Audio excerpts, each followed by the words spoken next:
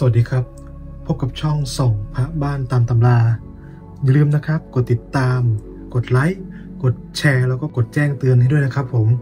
จะได้ไม่พลาดคลิปนะครับ พระเครื่อง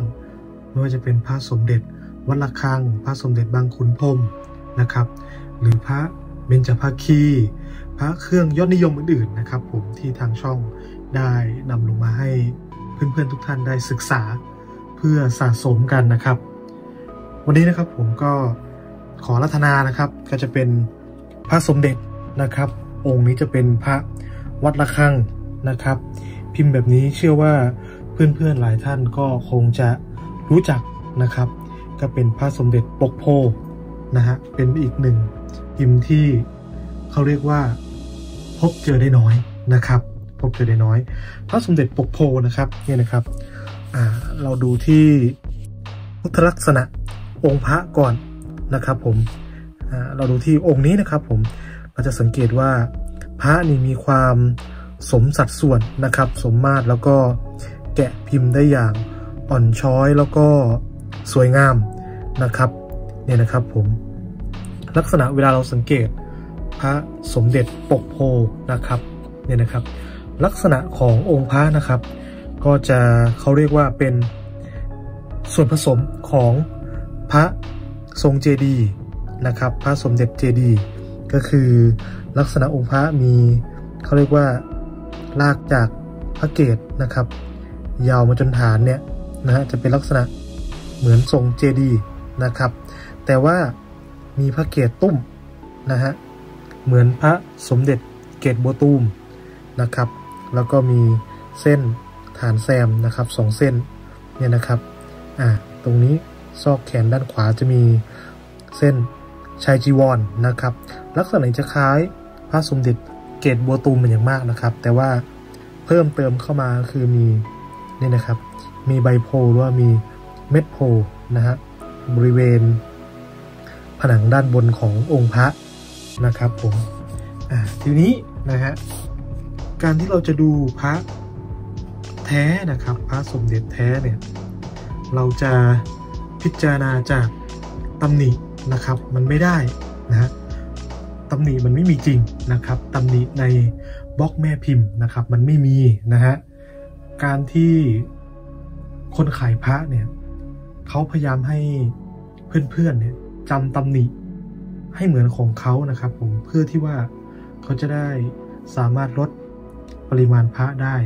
นะครับ การที่เราจะดูว่าพระเนี่ยแท้ ถึงยุคของสมเด็จท่านเนี่ยนะครับจำไว้เลยนะครับ1นะฮะดูที่พุทธศิลป์นะครับ พุทธศิลป์ขององค์พระ ศิลปะขององค์พระนะครับ พุทธศิลป์ศิลปะองค์พระนะครับ พระลักษณะแบบนี้เนี่ยเราเรียกว่าพระสมเด็จปกโพนะครับ พระสมเด็จปกโพ โดยเฉพาะองค์นี้นะครับ ด้วยความที่อ่อนช้อย สวยงามและลักษณะ ยิมของพระเนี่ยก็จะเป็นของวัดระฆังนะครับ แล้วก็ดูที่เนื้อพระนะครับ องค์นี้เป็นพระบ้านนะครับ ผิวหิ่งเดิมๆนะฮะไม่ค่อยได้ใช้เท่าไหร่นะครับ ต้องพูดอย่างนี้นะฮะเพราะว่าเนื้อพระนี่ถือว่าสมบูรณ์นะครับ สมบูรณ์แต่ว่าธรรมชาติที่อยู่ในเนื้อพระเดี๋ยวเราค่อยไปส่องกล้องดูกันนะครับ 2. เราดูเนื้อพระ ดูการเปลี่ยนแปลงนะครับ พระแท้พระสมเด็จแท้ๆเนี่ยเมื่อผ่านการเวลานะครับ ก็จะมีการเปลี่ยนแปลงบนองค์พระนะครับ มีการเปลี่ยนแปลงแน่นอนนะฮะพระไม่ใช่แค่ปี 2 ปีนะครับ พระเป็นหลัก 150 ปีนะครับเพราะฉะนั้นการเปลี่ยนแปลงบนพื้นผิวนะครับ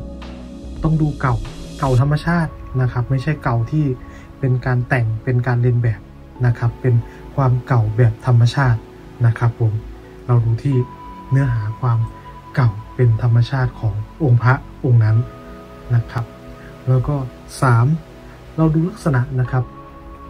พระสมเด็จวัดระฆังเนี่ยก็เป็นอีกหนึ่งงานศิลปะชิ้นหนึ่งนะครับที่ถูกรังสรรค์ขึ้นมาจากงานปูนปั้นนะครับ เพราะว่าเป็นพระเนื้อปูนเปลือกหอยผสมมวลสาร ของสมเด็จท่านนะครับ ลักษณะงานปูนปั้นโบราณเนี่ยนะฮะเราไม่จำเป็นต้องดูแค่พระสมเด็จนะครับ ไปดูศิลปะงานปูนปั้นอื่นๆที่มีอายุเป็นหลักร้อยปีนะครับ ธรรมชาติ การยุบย่นแยกของเนื้อปูนปั้นนะครับ ต้องโบราณถึงอายุเนี่ยนะครับ ถึงจะเป็นพระที่แท้ทันยุคสมเด็จโตนะครับ แต่ว่าตำหนิเนี่ยไม่มีจริงนะครับ เนี่ยนะครับผมอะเรามาพิจารณาที่องค์พระกันนะครับ เนี่ยนะครับ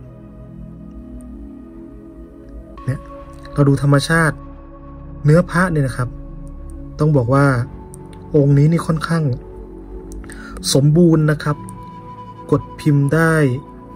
คม ลึก หนานะครับ เป็นธรรมชาติเนี่ยนะครับ เนื้อผิวพระเนี่ยท่านดูนะครับ ผิวพระเนี่ยเขาเรียกว่าจะมีความหลากหลายทางผิวพันองค์พระนะครับ คือถ้าเราดูไกลๆเนี่ย เราดูไกลเนี่ยพระจะมีความแห้งนะครับ ไม่ดูมันเงาเหมือนพระที่ออกจากโรงงานทำใหม่นะครับ พระจะดูแห้งนะครับ แต่ว่าเมื่ออะนี่นะเมื่อลงกล้องนะครับนะครับเนี่ยผิวดูสวยงาม ฉ่ำเงาแล้วก็เต็มไปด้วยการเปลี่ยนแปลงบนพื้นผิวองค์พระเนี่ยนะครับ นี่แหละเป็นธรรมชาติของเนื้อศิลปะงานปูนปั้นนะครับ อายุเป็นหลักร้อยห้าสิบร้อยหกสิบปีเนี่ยนะครับเนี่ยจะมีความสวยงามนะครับ ดูที่เนื้อพระนะครับ เนื้อพระจะไม่เรียบตึงนะครับ ดูนะครับมวลสารศักดิ์สิทธิ์ที่สมเด็จท่านใส่ลงไปไม่ว่าจะเป็นเม็ดแดงเม็ดดำนะครับ เม็ดขาวเนี่ยนะฮะแล้วก็เราดูที่เนื้อผิวพระนะครับเนี่ยนะครับ ผิวพระเนี่ยเริ่มมีการเปลี่ยนแปลงเห็นไหมครับเนี่ยนะครับคาบปูนเก่าเนื้อปูนเก่าเนี่ยเริ่มมีการงอกทับขึ้นมา ชั้นปูนเดิมเนี่ยนะครับ เห็นไหมฮะ บางจุดบางบริเวณเนี่ยก็จะมีเป็นสีออกเหลืองเหลืองนวลนวลขาวๆเนี่ยนะครับ เนี่ยนะฮะ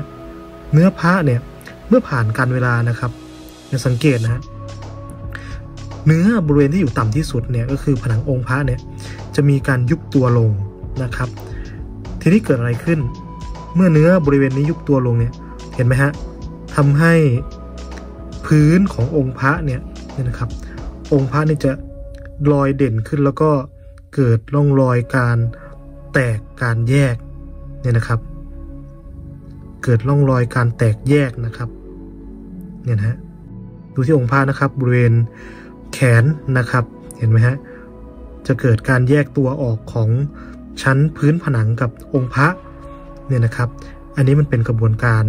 จากธรรมชาติจากการเวลานะครับ มีการเหี่ยวรัด มีการหกมีการขยายตัวของเนื้อพระนะครับเนี่ยนะครับเพื่อนๆดูนะครับ คือองค์นี้เนี่ยต้องบอกว่าแก่ไปด้วยมวลสารศักดิ์สิทธิ์ที่สมเด็จท่านใส่เข้าไปเนี่ยนะครับเนี่ยฮะเม็ดขาวๆขุ่นๆเนี่ยนะครับ ผมอ่าเม็ดขาวเล็ก ๆ เนี่ยนะฮะเนี่ยนะครับ เม็ดดำเม็ดแดงเนี่ย เหล่านี้เนี่ยเป็นมวลสารนะครับ เป็นมวลสารที่สมเด็จท่านเนี่ยใส่ลงไปเนี่ยนะครับ เห็นไหมฮะพระพักนะครับ หรือว่าหน้าพระเนี่ยเนี่ยนะครับ ก็จะเป็นหน้าพระที่คล้ายกันกับพระสมเด็จเกตโบตูมนะครับเนี่ยนะครับ เห็นไหมฮะเป็นพระเกตนะครับเป็นเป็นตุ้มแล้วก็ เป็นกระจ่อมขึ้นนะครับเนี่ยครับ จะหลดกับซุ้มระฆังเลยนะครับเนี่ยดูธรรมชาติ ธรรมชาติความเก่าเนี่ยนะครับ พื้นผิวพระเนี่ยเห็นไหมฮะพื้นผิวพระเนี่ยจะไม่เรียบตึงนะครับเนี่ยท่านดูนะครับเป็นเพื่อนดูนะครับเนี่ยพื้นผิวขององค์พระเนี่ยไม่เรียบตึงนะฮะมีร่องรอยการยุบแยกของเนื้อพระเนี่ยนะครับ ยเฉพาะบริเวณระหว่างผนังพระนะครับ กับเนื้อองค์พระเนี่ยนะครับร่องรอยการกดพิมพ์เนี่ยนะครับ แบบเนี้ยเขาเรียกว่าศิลปะของช่างสกุลเชียงแสนนะครับ เราจะเห็นในพระสมเด็จเจดีแล้วก็พระเกตโบตูมหลายองค์นะครับเนี่ยนะลักษณะแบบนี้นะครับก็จะมีเส้นชายจีวรนนะครับ วิ่งเข้าที่ ซอกแขนขวาองค์พระเนี่ยเพื่อนๆดูนะครับ ผมต้องบอกว่าองค์นี้เนี่ยสวยงามจริง ๆนะครับ พระเดิมๆพระผิวหิ้งนะครับ ไม่ค่อยได้ถูกใช้งานนะครับ พระองค์นี้นะฮะแล้วไม่ผ่านการลงลักปิดทองนะครับ แต่ว่ายังรักษาสภาพผิวได้สวยงามนะครับดูนะครับ องค์พระเนี่ยนั่งอัสมาธินะครับ ผมมี ข้อเท้านะครับ ข้อเท้าด้านซ้ายนะครับ ผมห้อยลงมานิดนึงนะครับ ก็จะเห็นห้อยอยู่นิดนึงนะสังเกตดูนะครับ ห้อยนิดนึงนะครับเนี่ยนะครับผมเนี่ยบริเวณเนื้อของผ้านี่ก็จะมีเม็ดมวลสารที่สมเด็จท่านใส่ลงไปนะครับ แค่เม็ดมวลสารนี่ก็ถือว่าศักดิ์สิทธิ์แล้วนะครับ ผมถ้าพูดถึงความศักดิ์สิทธิ์แล้วก็ พุทธคุณของพระสมเด็จวัดระฆังนี้ต้องบอกว่าเป็นที่ต้องการที่สอดแสวงหาของหลายผู้หลายคนนะครับ เพราะว่าสามารถหนุนนำหนุนดวงพลิกชีวิตเสริมชะตาเสริมบารมีให้กับผู้ครอบครองของพระสมเด็จได้นะครับ ด้วยอิทธิฤทธิ์ด้วยพุทธคุณด้วยอ่าเขาเรียกว่าคาถาพุทธาคมที่แก่งกล้า ของสมเด็จท่านนะครับที่เริ่มตั้งแต่กระบวนการเสกกระบวนการจัดทำผงนะครับผงทั้ง5นะการสแสวงหาวัตถุดิบในการทำนะครับต่อชนชีพที่สมเด็จท่านสร้างพระสมเด็จขึ้นมานะครับผมจึงทำให้พระสมเด็จวัดระฆังเนี่ยถูกจัดไว้อยู่ระดับสูงนะครับของพระเครื่องพระบูชาไทย เป็นที่ต้องการของ ทุกผู้คนต้องเรียกว่าแบบนี้แล้วกันนะครับผมอย่าลืมนะครับเพื่อนๆที่เพิ่งเข้ามาติดตามรับชมรับฟังนะครับ ฝากกดติดตาม กดไลค์กดแชร์ แล้วก็กดแจ้งเตือนให้กับทางช่องด้วยนะครับ ผมกดไลค์กันเยอะๆกดแชร์กันเยอะๆหน่อยนะฮะจะได้สร้างสังคมที่เล่นหาพระเครื่องนะครับ ตามหลัก หลักการตามตำรานะครับ ผมไม่ใช่ตามตำหนิไม่ใช่ตามราคาของคนขายพระนะครับ ผมการที่ท่านจะหาพระสมเด็จแท้ๆได้เนี่ยท่านต้องเข้าใจกระบวนการทางธรรมชาติ กระบวนการเนื้อการเปลี่ยนแปลงของวัตถุโบราณนะครับ ถ้าท่านยังไม่ชำนาญก็สามารถศึกษาสามารถดูจากแหล่งเรียนรู้ใน YouTube ได้นะครับ ทางเราก็จะพยายาม นำคลิปพระเครื่องนะครับ พระสมเด็จแต่ละองค์เนี่ยผมคัดเองกับมือนะครับ องค์ไหนที่ไม่ถึงยุคท่านเนี่ยเราก็จะไม่นำมาลงนะครับ พระที่แท้ทันยุคเท่านั้นนะครับ ที่จะให้เพื่อนๆได้นำมาศึกษาแล้วก็เรียนรู้ตามกันนะครับ กลับมาที่พระสมเด็จปกโพองค์นี้นะครับเนี่ยนะครับ เมื่อเราพิจารณาพุทธศิลป์นะครับ เรามาไล่ดูที่เนื้อพระเนี่ย เนื้อพระเนี่ยต้องมีความเป็นธรรมชาติเนี่ยนะครับ พื้นผิวพระนะครับ ผมพระถึงยุคเนี่ยจะมีธรรมชาติเราสังเกตหลากหลายเลยนะครับ ไม่ว่าการงอก การทับซ้อนของเนื้อผิวปูนนะฮะหรือว่าความหลากสีนะครับ ความหลากสีสันของเนื้อพระนะครับเนี่ยนะครับ ธรรมชาติของเนื้อเม็ดมวลสารเนี่ยนะครับ เหล่านี้เนี่ยพระแท้เนี่ยจะทำให้เราได้เรียนรู้ได้ง่าย แล้วก็สังเกตเห็นได้ง่ายนะครับนี่เรามาดูด้านขอบข้างนะครับผมขอบข้างเนี่ยก็มีรอยแตกนะฮะรอยแตกรอยแยกเนี่ยแบบนี้นะครับผมรอยแตกรอยแยกที่เกิด ขึ้นมาเองนะครับ ตามธรรมชาติเมื่อเรามีการปาดขอบองค์พระนะครับ หรือมีการหลุดร่อนของย่อยสลายนะครับของมวลสารนะฮะที่เป็นอินทรีย์วัตถุนะครับเนี่ยนะฮะพอหลุดล่อนลงไปก็จะเป็นเป็นร่องเป็นหลุมนะครับเนี่ยด้านขอบข้างก็จะมีเม็ดนะครับ เม็ดมวลสารของสมเด็จท่านเนี่ยเยอะแยะเลยนะครับ เนี่ยนะครับเนี่ยธรรมชาติรอยปริด้านข้างนะครับ เวลาที่มีการตัดขอบองค์พระเนี่ยนะครับเนี่ยร่องรอยรอยปรินะฮะรอยปริธรรมชาติเนี่ยไอ้พวกนี้มันเป็นร่องรอยธรรมชาตินะฮะเนี่ยนะครับเนี่ยเกิดจากกระบวนการที่มีการตัดขอบองค์พระนะฮะทำให้ พื้นบริเวณขอบเนี่ยเกิดรอยปิแยกได้นะครับเนี่ยนะครับ อันนี้คือเนื้อพระนะครับ พระสมเด็จแท้ๆนะครับ ที่แท้ทันยุคสมเด็จท่านนี่นะครับเนี่ยรอยปูไต่นอนด้นนะครับ ก็มีให้เห็นเกิดจากเนื้อมวลสารที่เป็นเนื้ออินทรีย์วัตถุเนี่ยย่อยสลายไปตามกาลเวลานะครับ ก็จะทิ้งร่องรอยเอาไว้นะครับ เนี่ยนะครับ ด้านขอบองค์พระเนี่ยจะเห็นว่าเป็นร่องรอยเหมือนปริรอยปริที่เกิดจากการตัดขอบนะครับ เกิดจากการตัดขอบองค์พระเนี่ยนะครับ เนี่ยเราดูเนื้อเนี่ย เนื้อแบบนี้มันปลอมยากนะครับ ปลอมยากจนแทบจะปลอมไม่ได้นะฮะเนี่ยนะครับ แต่ว่าคนขายผ้าหลายท่านเนี่ยเขาก็ไม่ได้ให้ดูเนื้อนะฮะเขาจะเน้นให้ดูตำหนิเขาจะชี้ตำหนิให้ตรงตามหน้าพระของเขานะครับ เขาถึงจะรับซื้อพระจากท่านนะครับ แต่สำหรับคนที่เป็นนักเลงพระสมเด็จ หรือนักเลงพระเนี่ยก็จะรู้ว่าจริง ๆ แล้วเนี่ยตำหนิในองค์พระเนี่ย มันไม่มีอยู่จริงนะครับ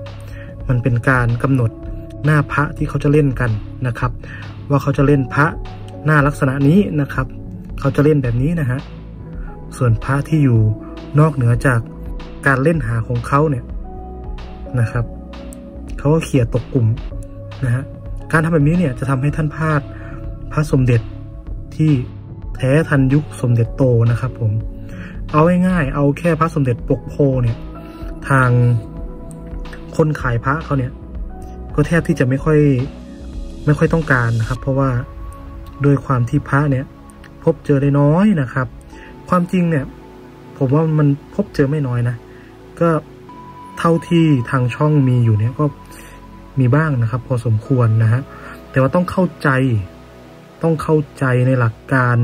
ธรรมชาติ การเปลี่ยนแปลงของเนื้อพระนะครับ แล้วท่านจะพบพระสมเด็จ แท้ๆที่ทันยุคสมเด็จโตนะครับ พบแน่นอนนะครับ แล้วส่วนใหญ่นะครับผมเท่าที่จากประสบการณ์ที่พบเจอมานะครับ พระสมเด็จเนี่ย พระสมเด็จแท้เนี่ย ผมพบเจอตามบ้านนะครับ ที่มีการมอบตกทอดกันมานะครับ องค์ที่ไม่ถึงยุคก็มีนะครับ เราก็คัดออกไปนะครับ องค์ที่ไม่ถึงยุคก็มี แต่ส่วนใหญ่แล้วเท่าที่เจอนะครับ เท่าที่เราเจอเนี่ย ก็จะแท้ถึงยุคร้อยห้าสิบปีนะครับ แท้ถึงยุคสมเด็จท่านนะครับ อันนี้พามาชมธรรมชาติ ความงดงามของการเปลี่ยนแปลงบนเนื้อพระนะครับเนี่ยนะครับ ดูธรรมชาติจดจำลักษณะการเปลี่ยนแปลงนะฮะแล้วก็เอาไปเทียบกับหน้าพระของท่านนะครับ ว่ามีความใกล้เคียงกันไหมนะครับ มีความ เหมือนกันหรือเปล่านะครับเนี่ยนะครับ ความใกล้เคียงกันไหมกับพระที่ท่านครอบครองอยู่พระที่ท่านได้รับตกทอดมานะครับ เราก็พยายามที่จะส่องให้เห็นหลาย ๆ มุมหลาย ๆ มิตินะครับ องค์นี้เนี่ยติดพักกันทั้งสองข้างนะครับแล้วติดหูทั้งสองข้างเนี่ยนะครับ ชัดเจนเลยนะครับ รอยปีรอยแยกนะครับ ส่องไปลึกเนี่ยจะเห็นว่าเนื้อปูนเนี่ยนอกจากการงอกของหินปูนนะครับ การทับซ้อน การคุมผิวของหินปูนแล้วเนี่ย เราจะสังเกตเห็นคราบแคลไซต์เนี่ยนะครับ อยู่ในเนื้อลึกเข้าไปในอกพระนะครับ เราสังเกตนะครับ เราเห็นคราบแคลไซต์นะครับ บนผนังองค์พระเนี่ยนะครับ สังเกตไม่ยากนะครับ สังเกตไม่ยาก อยู่ที่ว่าเราจะ ใส่ใจสังเกตหรือเปล่า แค่นั้นเองนะครับ อย่าไปไล่หาตำหนินะครับ อย่าไปไล่หาตำหนิตำหนิในพิมพ์พระไม่มีอยู่จริง เพราะไม่มีใครเคยเห็นบล็อกแม่พิมพ์ พระสมเด็จที่ออกมาจากวัดระฆังนะครับ เพราะฉะนั้นเราต้องดูเนื้อ ดูศิลปะ ดูพุทธศิลป์องค์พระ ถ้าเกิดจะให้ชี้ตำหนิเนี่ย ผมก็ชี้ได้ ผมก็จะชี้ว่าแขนด้านซ้ายเนี่ย มีลักษณะเป็นก้ามเห็นไหมอ่า เหมือนลักษณะเป็นก้ามก้ามแบบนี้นะครับพระกันด้านซ้ายเนี่ยจะหลุดติดไหล่ด้านซ้ายนะครับพระกันยาวกว่าด้านขวา เนี่ยถ้าแบบเนี้ยมันคือการชี้ตำหนินะครับ แต่เราไม่ทำนะครับ เพราะว่าผมก็ไม่ทราบว่าในบล็อกแม่พิมพ์เนี่ยมีตำหนิลักษณะไหนบ้างนะครับ เพราะฉะนั้นมันชี้ไม่ได้นะครับ ดูซอกนะครับเนี่ยธรรมชาติเห็นไหมฮะ ซอกแขนองค์พระเนี่ยเนี่ยนะครับ มีร่องรอยความเก่า มีการแตกมีการแยกของเนื้อพระ มีการงอกของเนื้อปูนนะครับ มีการงอกคุมผิวของเนื้อปูนเนี่ยพิมพ์พระเนี่ยกดได้คมลึกจริง ๆนะครับ เราสังเกตว่าบริเวณปลายเท้าด้านขวาเนี่ยเนี่ยฮะที่ช้อนอยู่เนี่ย จะเห็นปลายเท้าเลยนะครับ นะครับ ตรงจุดนี้นะครับเนี่ยนะครับเนี่ยนะครับพระแท้เนี่ยเนี่ยนะครับ กดพิมพ์ได้คมลึกแล้วก็ไม่ตื้นเบอร์นะครับเนี่ยนะครับ ธรรมชาติของเนื้อมวลสารเนี่ยสังเกตดูผิวนะ ผิวบางจุดเนี่ยก็จะเป็นสีออกน้ำตาลน้ำตาลเหลืองๆนะครับ ผมเนี่ยนะฮะธรรมชาตินะครับ ผม ผิวบางจุดเนี่ยก็จะเป็นคาบ ขาวขึ้นมาปกคลุมนะครับ เป็นคราบคราบปูนนะครับเนี่ยนะฮะเห็นไหมซอกแขนลึกกดได้ลึกนะครับ ผมร่องรอยของสังคตินะครับเนี่ยนะครับร่องรอยสังคติเม็ดโพนะครับ มีความอ่อนช้อยแล้วก็งดงามนะครับ ไม่แข็งทื่อนะครับ ดูพุทธศิลป์ของพระเนี่ยนะครับ เม็ดโพเรียงกันสวยงามนะครับ เนื้อพระเนี่ยเห็นไหมไม่เรียบนะครับ สังเกตเข้าไปในซุ้มด้านในเนี่ย เนื้อในลึกๆ เนี่ย ตกผลึกเป็นแคลไซต์นะครับ มีการตกผลึกเป็นคราบแคลไซต์ก็คือ เนื้อปูนมีการพัฒนานั่นแหละครับนี่นะครับ เนื้อปูนมีการพัฒนานะครับผม นี่แหละคือธรรมชาติของพระอายุเป็น ร้อยห้าสิบปีนะครับผมสำหรับผมแล้วถือว่าเป็นพระสมเด็จองค์ที่งดงามนะครับ งดงามมาก ๆ เลยทีเดียวนะครับนี่นะครับ ความมีมิติขององค์พระเนี่ยทำให้พระมีเสน่ห์แล้วก็ดูสวยงามนะครับ งดงามจริงนะครับสำหรับพระสมเด็จปกโพองค์นี้นะครับ ก็หวังว่า คลิปนี้ก็จะเป็นประโยชน์ให้กับทุกท่านที่กำลังศึกษา หรือว่ากำลังหัดดูพระดูหน้าพระของตัวเองนะครับ ว่าเป็นพระที่แท้ทันยุคสมเด็จโตท่านหรือไม่นะครับ ทบทวนนะครับหนึ่งเราดูที่พุทธศิลป์ของพระ ดูศิลปะของพระนะครับ พุทธศิลป์เนี่ยแยกให้เราว่าพระองค์นี้เนี่ยเรียกว่าพระอะไร อย่างพุทธศิลป์ลักษณะนี้เขาเรียกว่าพระสมเด็จปกโพนะครับ พอดูเนื้อ พอดูความชัดเจนของพิมพ์ทรงความอ่อนช้อยเนี่ย นี่คือวัดระฆังนะครับ นี่คือพระสมเด็จของวัดระฆังนะครับผมอันที่สองดูการเปลี่ยนแปลงตามธรรมชาติ บนพื้นผิวองค์พระ ก็คือรอยยุบย่นแยกอ่ายุบย่นแยกรอยเหี่ยวรอยหดของเนื้อนะครับ การเกิดแคลไซต์การเกิดผลึกหินปูน การปกคลุมคาบนะครับ เหล่านี้มันจะเป็น รูปแบบธรรมชาติ สีสันวันณะองค์พระพวกนี้มันคือธรรมชาตินะครับ มันตกแต่งไม่ได้ มันปลอมไม่ได้ปลอมลำบากนะครับปลอมยากนะฮะความหลากหลายทางธรรมชาติเนี่ยมันปลอมยากและสุดท้ายเราดูให้เป็นเนื้อวัตถุโบราณนะครับ โดยเปรียบเทียบกับของที่มีอายุใกล้เคียงกันสำหรับทางช่องนี้มีพระสมเด็จที่แท้ทันสมเด็จโตนี่เยอะหลายองค์เพราะฉะนั้นจึงง่ายต่อการเทียบกับองค์อื่นๆ เพื่อเทียบเคียงอายุพระ นะครับ ก็หวังว่าทุกท่านนะครับ ก็จะนำความรู้เนี่ยไปต่อยอดศึกษาแล้วสะสมพระสมเด็จได้นะครับผมก็ก่อนจากกันในวันนี้นะครับ ผมก็จะขอรัธนาพุทธคุณของท่านสมเด็จโต แล้วก็พระสมเด็จพิมพ์ปกโพองนี้นะครับผมขอให้ทุกท่านที่ติดตามรับชมเนี่ยจงมีแต่ความสุขความเจริญแล้วก็ เจริญก้าวหน้าในอาชีพการงานการค้าการขายนะครับ แล้วก็ขอให้ท่านได้ครอบครองพระสมเด็จแท้ๆสักองค์นะครับ จะได้เป็นสิริมงคลแก่ท่านและครอบครัวสืบไป แล้วพบกันใหม่ในคลิปหน้าสำหรับวันนี้ ต้องขอกล่าวคำว่า สวัสดีครับ